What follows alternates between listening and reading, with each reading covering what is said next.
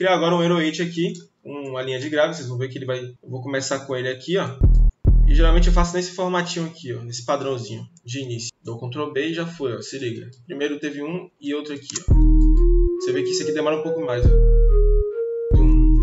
Para criar logo esse swing. Agora que a gente criou nossa linha de Hero 8, mano, uma coisa muito fácil para você criar Hero 8 é você pegar e usar somente a primeira nota da escala, tá ligado? De início. Eu recomendo pra caramba pra vocês. E qual é o segundo passo se você usar essa técnica, mano? Você tem que seguir as notas que estão aparecendo aqui. Por exemplo, eu tô vendo essa nota aqui da melodia, tá ligado? Se você não tá vendo, inclusive, as notas dos outros instrumentos, basta você ativar o, o comando Alt V ou você vem aqui em Helpers e aí habilitar esse Ghost Channels, beleza? Vou aqui, eu vou jogar esse heroite mais ou menos aqui ou aqui, tá ligado?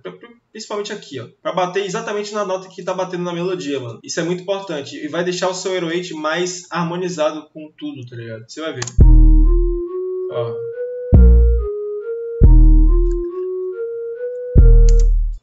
De novo aqui.